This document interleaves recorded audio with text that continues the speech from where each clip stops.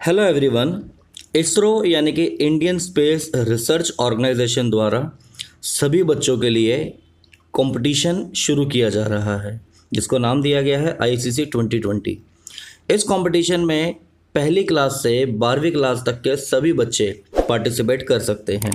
और पार्टिसिपेशन के बाद कब ये क्विज़ होगी, कब ये इनका कंपटीशन होगा, और ये कंप्लीट होने के बाद क्या मिलेगा चलिए जानते हैं इसके बारे में।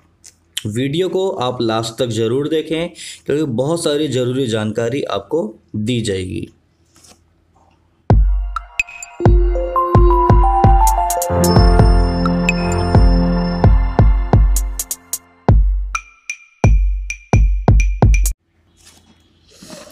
देखिए, जैसे इनका एक कंप्लीट एक नोटिफिकेशन है एक एक करके इसको देखते हैं हम। वर्तमान कोविड नाइन्टीन के चुनौतीपूर्ण समय के दौरान जब भौतिक रूप से बैठकें और सभाएँ लगभग असंभव है, इसरो ऑनलाइन के माध्यम से इसरो साइबर स्पेस प्रतियोगिता का आयोजन कर हमारे देश के बच्चों, युवाओं को एकीकृत कर उनकी संभावित प्रतिभाओं को प्रदर्शित करने में हम अपनी भूमिका निभाने की योजना बना रहा है। तो इसमें आप देखें कि ऑनलाइन भागीदारी आप इसमें कर सकते हैं और क्या प्रतियोगिताएँ हमारी क्या क्या हैं, देखेंगे एक एक करके। पहली प्रतियोगिता आपको है क्लास वन से क्लास थ्री के स्टूडेंट्स के लिए, यानी कक्षा एक से कक्षा तीन के लिए, इसमें ड्राइंग कंपटीशन है। कक्षा फोर्थ से कक्षा एट्थ के लिए मॉडल बनाने की कंपटीशन है, प्रतियोगिता है। नौवीं, दसवीं के बच्चों के लिए ऐसे राइटिंग मीन्स निबंध प्रतियोगिता है। ये आप हिंदी या अंग्रेज़ी किसी में भी ये लिख सकते हैं। और एलेवन ट्वेल्थ के लिए भी आपकी निबंध प्रतियोगिता है और एक अंतरिक्ष प्रश्नोत्तरी प्रतियोगिता। इंग्लिश में भी आप देख सकते हैं यहाँ पर, अगर हिंदी में आपको दिक्कत हो रही हो तो। नाइन्थ और टेंथ के लिए देखें आप, ऐसे कंपटीशन है। और एलेवन ट्वेल्थ के लिए यहाँ पर ऐसे कंपटीशन के साथ साथ स्पेस क्विज भी होगी। बाकी आप ये आगे देखें इसमें। ये सारा जो प्रोसेस है, ये ऑनलाइन होगा। और सबसे बड़ी एक इंपॉर्टेंट बात जो यहाँ इंपॉर्टेंट बात जो यहाँ पर देखने वाली है, ये वाली। आप देखिए क्या लिखा हुआ है। भागीदारी के लिए कोई भी शुल्क नहीं है। मींस ये बिल्कुल फ्री ऑफ़ कॉस्ट है। इसके लिए आपको, या आपको एक रजिस्ट्रेशन लिंक दिया गया है नीचे। इस लिंक पर क्लिक करना होगा। ये लिंक मैं डिस्क्रिप्शन में भी आपको दे दूँगा। और वहाँ से भी इसको देख सकते हैं। इस कंपटीशन के कुछ नियम हैं रूल्स रेगुलेशंस हैं। एक एक करके हम इसको देखते हैं। मैं हिंदी में आपको बता रहा हूँ, साथ में इंग्लिश में भी दिया हुआ है, आप उसको भी पढ़ सकते हैं। प्रतियोगिता भारत में पढ़ रहे स्कूली छात्रों के लिए है मीन्स जो भी स्कूल में पढ़ रहे हैं, इसमें भाग लेना पूर्णतः निःशुल्क है मतलब कोई चार्ज नहीं है इसमें। और ये जितनी भी प्रतियोग प्रतियोगिताएँ हैं, जितना भी कंपटीशन है, ये इंडिविजुअल इवेंट्स हैं मतलब एक सिंगल पर्सन के ग्रुप कंपटीशन नहीं है ये।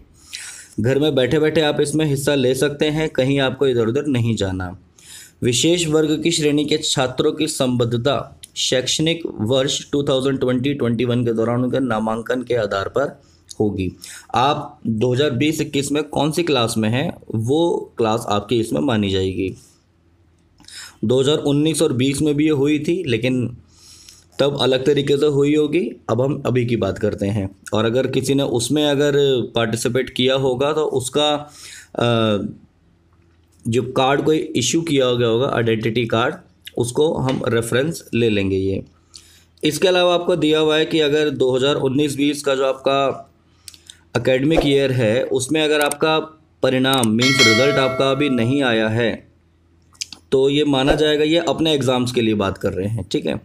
नेक्स्ट आएगा इसरो की वेबसाइट पर, ये एक इंपॉर्टेंट बात है, आप ध्यान रखेंगे।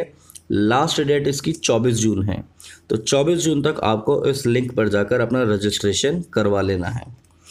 एक प्रतिभागी केवल एक प्रतियोगिता के लिए पंजीकरण करा सकता है या भाग ले सकता है। ठीक है ना? तो आप कोई भी एक कैटेगरी हो आपकी, आप उसमें अपना रजिस्ट्रेशन करवा लें। और आप अपना तो करें ही साथ साथ आपके अगर छोटे भाई बहन अगर हैं तो उनका भी रजिस्ट्रेशन आप इसमें ज़रूर करवा दें, क्योंकि ये सभी क्लासेस के बच्चों के लिए है। 500 बच्चे चुने जाएँगे और इनकी जो घोषणा है, ये हमें इसमें मिलेगा। उनका जो नाम है, इसरो की वेबसाइट पर आएगा और आपको एक सर्टिफिकेट मिलेगा, मेरिट सर्टिफिकेट आपको मिलेगा, जो आपको हार्ड कॉपी की फॉर्म में होगा, जो आपको मेल या पोस्ट के द्वारा मिल जाएगा। तो अब देखिए भाई, सीधी सी बात है, ISRO, Indian space research organisation, India के इतने बड़ा एक ऑर्गेनाइजेशन है, उसके साथ आपका एक नाम जुड़ जाएगा। उसके सर्टिफिकेट में आपका नाम आएगा, यही अपने आप में एक बहुत बड़ा अचीवमेंट है। नेक्स्ट है, अन्य सभी प्रतिभागियों को ईमेल के माध्यम से भागीदारी प्रमाण पत्र प्राप्त होगा। मीन्स जो 500 जो चुने जाएँगे, उनको तो इसमें प्रमाण पत्र मिलेगा ही मतलब सर्टिफिकेट मिलेगा। बाकी और जितने भी पार्टिसिपेंट्स हैं, उनको भी सर्टिफिकेट मिलेगा। क्या क्राइटेरिया होगा उनका, वो आगे बताया जाएगा। बाकी इसमें जो भी है, सारी जानकारी अभी आईसीसी की आप वेबसाइट पे जाकर देख सकते हैं। आपको टाइम क्या होगा टॉपिक क्या होगा, ये भी सब आपको वेबसाइट पर मिलेगा। आप कॉल भी इनको कर सकते हैं। चलिए अब आगे देखते हैं अलग अलग क्लासेस के लिए क्या क्या कंपटीशन है। क्लास वन टू थ्री यानी फ़र्स्ट सेकंड और थर्ड के लिए ड्राइंग कंपटीशन है, जैसा मैंने आपको पहले बता दिया। इसके आपको कुछ ये नियम यहाँ पर दिए हुए हैं। आप इस नियम को एक बार पढ़ ले अच्छे से गो थ्रू हो जाए कि क्या इसमें दिया हुआ है। मैं एक मोटा मोटा आपको बता देता हूँ कि इसमें ए थ्री साइज़ का आपको एक पेपर लेना है वाइट कलर का, या चार्ट पेपर भी आप ले सकते हैं। ड्राइंग के लिए वाटर वैक्स या पेंसिल रंगों का उपयोग आपको करना है। अपना जो पंजीकरण, यानी जो रजिस्ट्रेशन नंबर है, वो उसके राइट हैंड कॉर्नर पे आपने लिखना है। इसमें स्कूल का नाम ड्राइंग पेपर में प्रतिभागी का नाम स्कूल का नाम आदि लिखना, भागीदारी को अमान्य बना देगा। हाँ ये एक बड़ा इंपॉर्टेंट पॉइंट है। आपको इस पर बस अपना रजिस्ट्रेशन नंबर लिखना है। बाकी और कुछ नहीं लिखना। अपना नाम भी नहीं लिखना, ना ही आपको स्कूल का नाम लिखना है, ठीक है? तो इसको आप ध्यान में रखें बिल्कुल। नेक्स्ट है प्रतिभागी या माता पिता को ड्राइंग का स्पष्ट फ़ोटो लेकर या स्कैन कर इसरो की वेबसाइट पर दिए गए लिंक का लिंक पर अपलोड करना है। मीन्स आपने जो ड्राइंग बनाई है, आपके बच्चे ने उसकी अच्छे से आपने एक फ़ोटो खींचनी है और उसको अपलोड कर देना है इनकी वेबसाइट पर। और ये पीडीएफ या जेपीईजी के रूप में होनी चाहिए। और अपलोड करने वाली फ़ाइल का नाम प्रतिभागी की पंजीकरण संख्या रखना। फ़ाइल का नाम भी क्या होना चाहिए? उसका जो रजिस्ट्रेशन नंबर है, ताकि ईजिली विजिबल हो। Fourth fifth six seventh eighth class के बच्चों के लिए मॉडल मेकिंग है। ये बड़ा एक अच्छा रहेगा सभी बच्चों के लिए। आप मॉडल्स बना सकते हैं। साइंस क्राफ्ट या साइंस के मॉडल्स बहुत सारी चीज़ें होती हैं बनाने के लिए तो आप ये भी उसमें बना सकते हैं। इसके लिए आप देखेंगे क्या इसमें शर्तें हैं इनकी। इसका भी सेम यही है। इन, ये आप जब आप रजिस्टर हो जाएँगे ना, उसके बाद ही आपका टॉपिक भेजेंगे। ठीक है ना? आपके रजिस्टर्ड मेल पर इनका टॉपिक आएगा। और इसरो की वेबसाइट पर भी ये आ जाएगा। तो इसलिए ईमेल आईडी आप वो दें जो रेगुलर आप यूज़ करते रहें। कार्डबोर्ड, कागज़, कपड़े, चिपकने वाले टेप, रंग और गोंद का उपयोग करके एक मॉडल बनाएँ। इसके अलावा आपने कुछ भी यूज़ नहीं करना है, ठीक है? विभिन्न एंगल से या कोणों से एक से चार तस्वीर ले मीन्स आपको लगभग चार तस फ़ोटो उसकी खींचनी है और मॉडल के बारे में लिखना है और फ़ोटो आपने डालनी है, ठीक है ना? दो ए फोर आकार के पेज, ठीक है? दो आपने उसमें फ़ोटो डाल देनी है। पेपर के ऊपरी दाएँ कोने में पंजीकरण संख्या, वही जैसा उसमें था रजिस्ट्रेशन नंबर लिखना है, और बाकी आपने इसमें अपना नाम और स्कूल का नाम, ये सब नहीं लिखना है। ध्यान रखें इस बात को। अपलोड करने वाली फ़ाइल का नाम, उसकी पंजीकरण संख्या होगा ये सिर्फ़ पीडीएफ में जाएगा। ये सिर्फ़ किसमें जाएगा? पीडीएफ में। नेक्स्ट है हमारा नाइन टेंथ के बच्चों के लिए। ऐसे राइटिंग कंपटीशन होगा ये इसमें क्या होगा, इसका भी जो टॉपिक है, आपको भेजा जाएगा मेल पर और वेबसाइट पर भी। इसरो की जो वेबसाइट है, इसमें आप लैंग्वेज अपने चुनेंगे कि आपने हिंदी में करना है या इंग्लिश में, ठीक है? निबंध आपको लिखना होगा और इसकी जो मैक्सिमम जो वर्ड लिमिट है, वो थाउज़ेंड है, ठीक है? याद रखें, इसको आप टाइप नहीं करेंगे, ठीक है ना? टाइपिंग नहीं करना, आपने लिखना है अपनी हैंड राइटिंग में।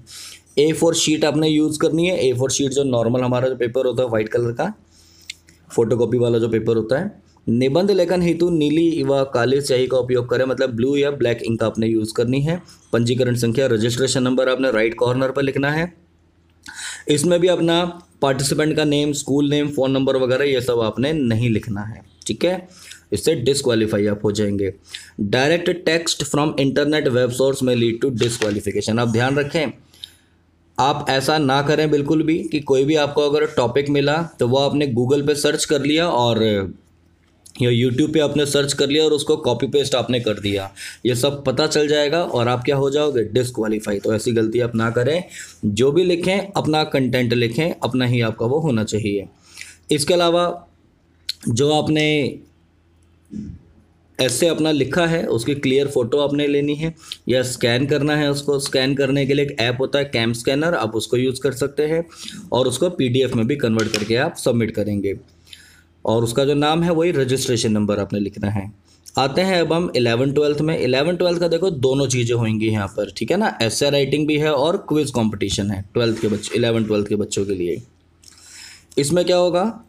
The modalities of the quiz competition shall be mentioned in detail on ISRO portal इसके बारे में जो सारी जानकारी है वो इसरो के पोर्टल पर अवेलेबल होगी और कोई जानकारी इसमें नहीं है।